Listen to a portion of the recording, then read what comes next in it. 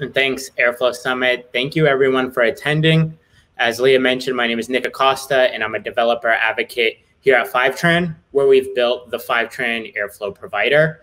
Uh, so I'm going to take this session to introduce the Fivetran Airflow provider, uh, share some ways that I found of organizations uh, use it and uh, use Fivetran and Airflow together.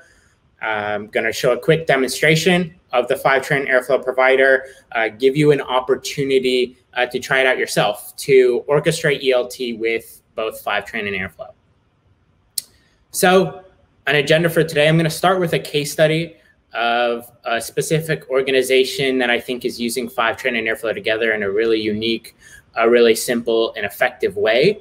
Uh, before getting into a little bit more detail of what Fivetran is, then I'm going to introduce a Fivetran Airflow provider and show a demonstration of it.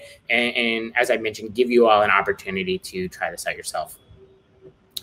So let's start with that case study. So this is a case study that's going to be up on fivetran.com here very shortly. I wanted to give you all here at Airflow Summit a quick preview uh, of what this is, uh, the data infrastructure for a financial services organization and uh, for the purposes of this case study, just know that Fivetran is performing automated data ingestion. I'll get into more of what's going on here at Fivetran uh, in some upcoming slides. But as you can see from their architecture diagram, they have a number of different sources where that are generating data. And they utilize Fivetran to automate the movement of that data into a centralized location. Uh, in this financial services organization's case, that's Snowflake. So they're bringing in data from seven different sources that you can see on my screen. Some you may recognize, like uh, Salesforce and Google Analytics.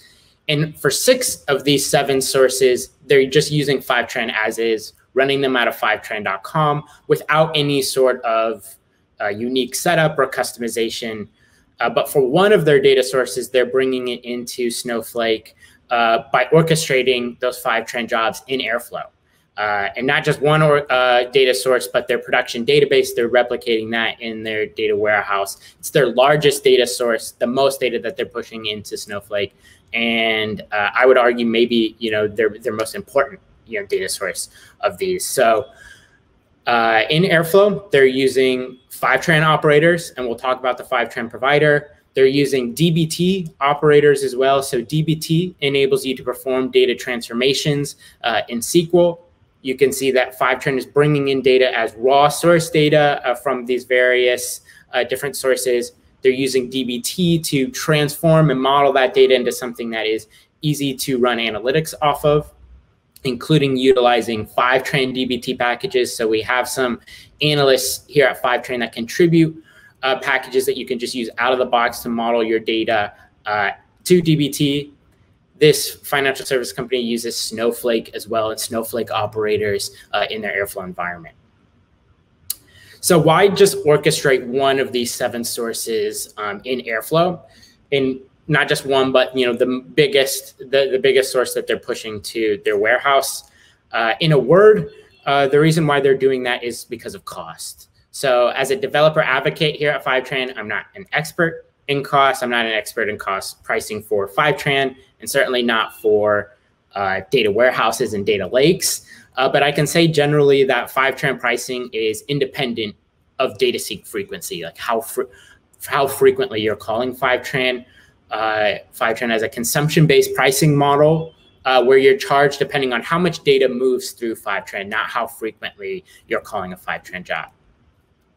But there are some data warehouses where their pricing is dependent of data free sync frequency. So if you think of data warehouses, especially ones that decouple storage and compute and decouple the pricing for each of them, the storage is going to be independent of how many times you're calling Fivetran. It's just going to grow as your data warehouse grows.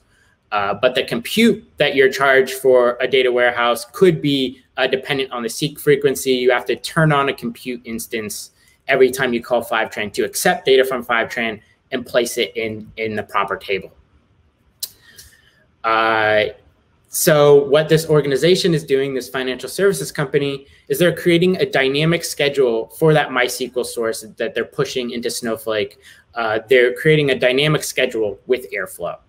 Uh, so uh, if you're calling Fivetran every five minutes or every five hours. It doesn't really matter on the Fivetran side, but it could influence your costs on, on the data warehouse side. They're dynamically creating a schedule where during business hours, they're syncing new data from their database to Snowflake every five minutes. Uh, but on nights and weekends, outside of business hours, they are pushing that data to Snowflake every one to two hours. And with this simple change that they're implementing in Airflow, uh, they're able to realize a 20% reduction in their data warehousing costs.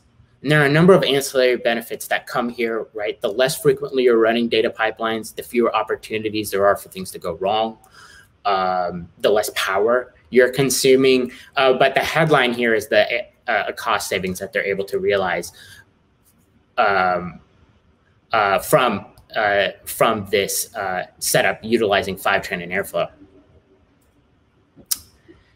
Uh, so let's get into a little bit more about what's happening here at Fivetran.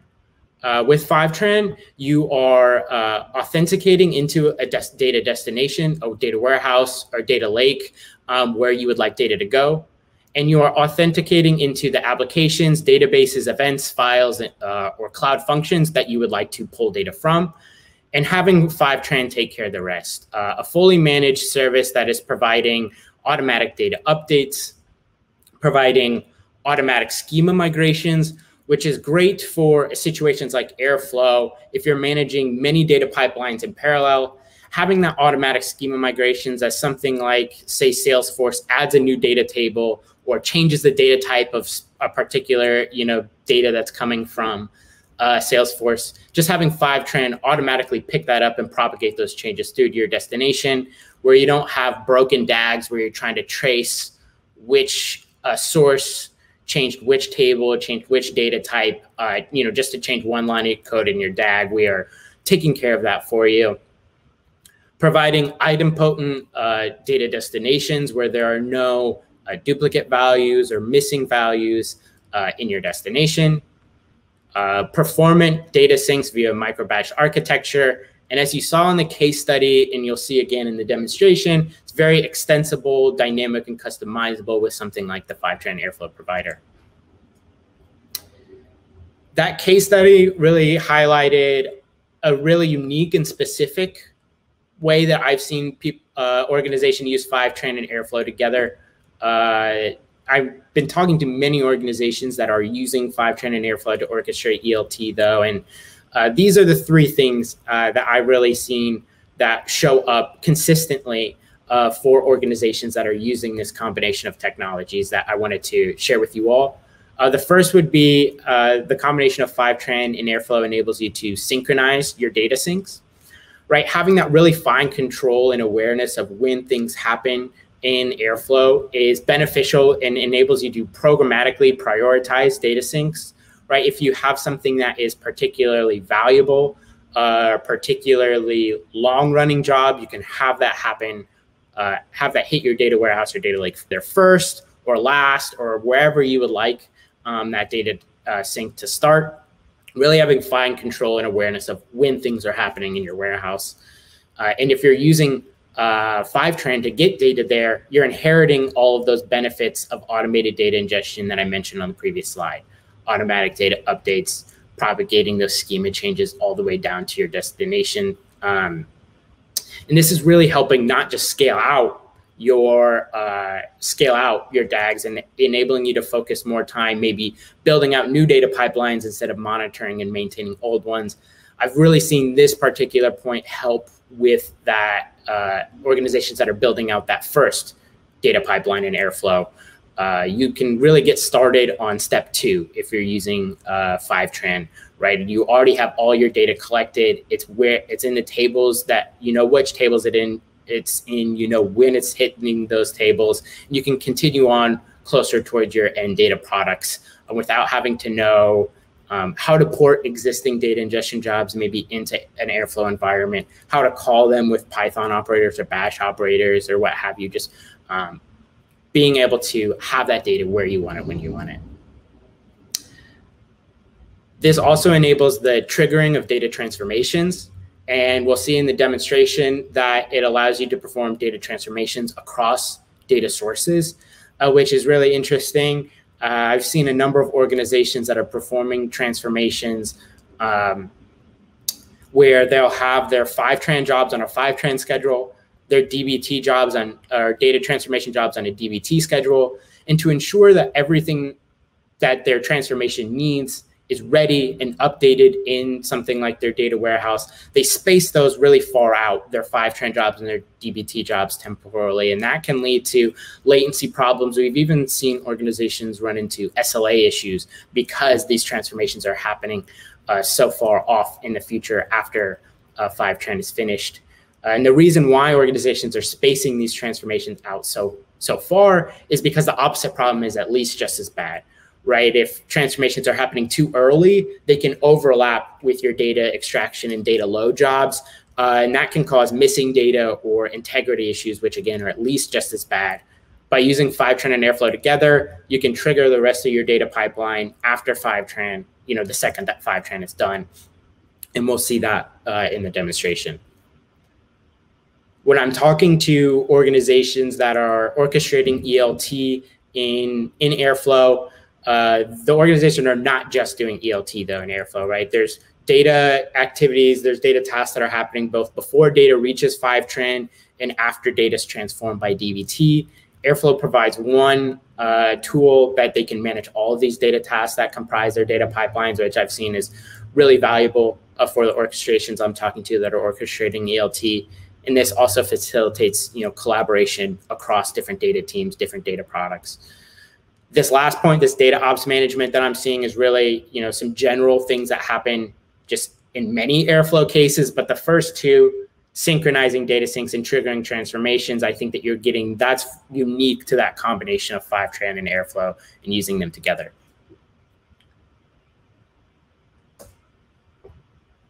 You can do so and orchestrate Fivetran and Airflow with the Fivetran Airflow provider. You can find the Fivetran Airflow provider on the Astronomer registry. It's a deep library of standard patterns for tight integrations between Airflow and other tools in the modern data stack. If you go to registry.astronomer.io, it's really easy to find Fivetran from there in the Fivetran Airflow provider. You can see how you can bring it into your Airflow environment, uh, the modules that make up the Fivetran Airflow provider, and uh, some document documentation on uh, how to run it. We can also take a look at all of that, you know, right here in the in the next couple slides. In the Fivetran Airflow provider, we have Fivetran hook. Hooks in Airflow abstract away logic uh, from Airflow operators, so you can keep your Airflow operators like super lightweight and readable. Uh, and for the Fivetran hook, we're doing exactly that for for Fivetran. So abstracting away all of that logic where uh, you know, five, Airflow is authenticating with Fivetran. Airflow is ensuring that the data sync that you want to call and start in Fivetran actually exists. All of those things are abstracted away from you in Fivetran, in the Fivetran hook. And this is really an area that is for advanced users and use cases only. I wanted to highlight it for this audience because I think that uh, you know, there may be some advanced users attending. And if you run through the Fivetran hook, if there's any functionality that you would like to see added or changed, I'm certainly very open to accepting pull requests, accepting comments, accepting issues, proposals, what have you, and how we can continue to build out this provider. But for most of us, and what we'll see in the demonstration, uh, the focus is on the Fivetran operator and Fivetran sensor. In Airflow, an operator executes some sort of work, right? And a sensor waits for some sort of condition to be met. So if you're mapping those to data movement to ETL. Um, the Fivetran operator and Fivetran sensor are pretty easy to make that leap into what they're doing. A Fivetran operator starts the execution of a Fivetran data sync. It'll call Fivetran and get it to start that data movement into your destination. A Fivetran sensor monitors the execution of a Fivetran data sync. Uh, so often I'll see organizations, and I use it the same way, that will call a Fivetran operator and then immediately after call a Fivetran sensor. Uh, so you can monitor the status of that data job that you just started. Once the Fivetran sensor is done, you know that uh, your data has been Fivetran into its destination, it's ready to go, and you can continue on with your data pipeline and working with that data, and you know where it is, uh, and that it's up to date. all of these operators, the Fivetran operator and Fivetran sensor, they're interfacing with Fivetran API. And I'm pointing that out because I've seen people replicate this functionality before the Fivetran provider. They were using uh, like pulling their data warehouse to see when Fivetran was done in Airflow. And I, I, it's just a lot easier experience, a lot simpler and, and better experience just to keep that in Fivetran. Uh, you'll see how uh, in the demonstration how easy it is to manipulate uh, data and manipulate your data pipelines with uh, the Fivetran operator and Fivetran sensor here. So in this demonstration, I'm going to be a data engineer that is preparing a pipeline for a marketing organization where they are buying advertisements across various ad platforms. And at the end, I want to be able to have one table where I have information about the ad spend, ad impressions, and ad clicks that these ads are generating across um, across different ad platforms. So I'm going to be using two uh, data sources that are pulling in ads data. In this example, I'll be calling Fivetran to move that data into a data warehouse. Um, and I'll be calling those, uh, starting those Fivetran jobs with the Fivetran operator uh, in Airflow. I'll be then using the Fivetran sensor to know the second that both of these jobs are done, I can move on with the rest of my data pipeline. I'm doing that uh, with a DBT operator that performs a data transformation. Uh, as soon as all the data that it needs is ready and available in the data warehouse, it's triggered, and then I you know, continue with those transformations. The transformation that I'm doing in this demonstration comes from the ad reporting package uh, that you can find on git or on hub.getdbt.com.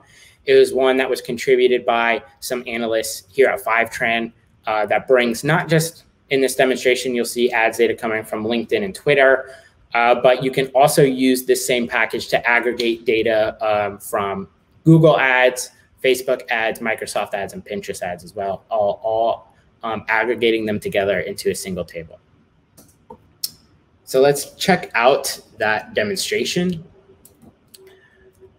Here you can see fivetran.com and one of those data uh, connectors that I was mentioning. Uh, in this case, it would be, this is where I'm pulling in uh, ads that are coming, data about ads that are on Twitter. Uh, in my my case, I'm taking the ads information coming from Twitter and pushing it to a BigQuery data warehouse. So I have the data source here is Twitter, the destination is BigQuery, and in Fivetran, we map those source destination pairings are called connectors. And you can see that they're all identified by something called a Fivetran connector ID. To be able to orchestrate this connection, this process of moving data from Twitter to BigQuery, to be able to orchestrate that in Airflow, it's just a matter of finding uh, this connector's Fivetran connector ID and pasting it into Airflow as an Airflow variable. So here you can see that same information. I've noted that this is my connector ID that's working with Twitter data. And then, you know, that's really all you need to be able to get this running out of Airflow. Here we can see that DAG that I've put together that has not just the Twitter data, but also LinkedIn data. I'm starting a Fivetran operator for each of them that kicks off that movement of data from these sources into BigQuery. Then immediately after, I'm calling a Fivetran sensor for each that is uh, monitoring the execution of these Fivetran jobs. As data is coming from different sources in different amounts, these take a variable amount of time, and I can use uh, Airflow to easily, you know, halt the execution of everything else happening in a data pipeline until both of them are finished.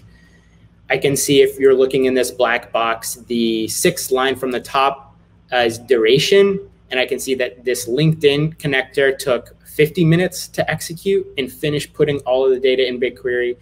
And Twitter took 20 minutes to execute. So we're really waiting on this Twitter uh, sync to finish. You can see in the very bottom line here in this black box, it ends at 50 minutes and 27 seconds after midnight. Uh, one second later, at 50 minutes and 28 seconds, my DBT job is running, and I'm able to uh, trigger that transformation and move on with the rest of my data pipeline. If I take a look at the code to generate this DAG, it's you know as straightforward as you would imagine. I'm bringing in the operators from this Fivetran provider, the operator and the sensor, and then it's just two lines of code uh, for each connector. one, two, the operator to start it, sensor to, to wait until it's finished. And you can see where I'm also referencing that connector ID that I copy and pasted from fivetran.com. Once I have those all in my DAG, it's really easy to configure what I would like this DAG to look like. So I have DBT waiting and I'm performing transformations um, waiting until after uh, both of these connectors are done. It's just as easy to have DBT or some other transformation or something else happening after each of them are done. Whatever you would like, you know, you can still maintain that flexibility that you may be um, accustomed to in Airflow, right? And once again, you can find this provider at the astronomer registry. Uh, it will work with any Fivetran source, moving data to any Fivetran destination uh, with any Airflow version. Uh, if you would like to try out this uh, provider yourself, we are going to be uh, providing a hands-on workshop where we can get you set up with our friends at uh, Astronomer. and you can go to the number five tran.co slash airflow summit, fivetran.co slash airflow summit, and find a way to sign up for a workshop where we'll get you set up with a Fivetran account and a Fivetran trial. With Astronomer, we'll get you set up with an Airflow instance and then utilizing this provider to easily or uh, build out a data pipeline and orchestrate ELT. I'm looking forward to that. That is two weeks from today. Uh, and that will be the inaugural event here for a new data ops online community that we just started so if you would like to present at that or attend you know we would be looking for um, some cool topics to uh, talk about anything data ops there if you would like to um, you know like to do that like to attend or have any feedback or thoughts about the Fivetran airflow provider or how you are orchestrating uh, ELT and Fivetran, whether that's with, or ELT and Airflow, whether that's with or without Fivetran, uh, please let me know at nick.acosta at fivetran.com. Uh, and one more time, Leah, thanks again for having me. Uh, thanks Airflow Summit for having me. Uh, and best of luck, everyone, in, in orchestrating your ELTs.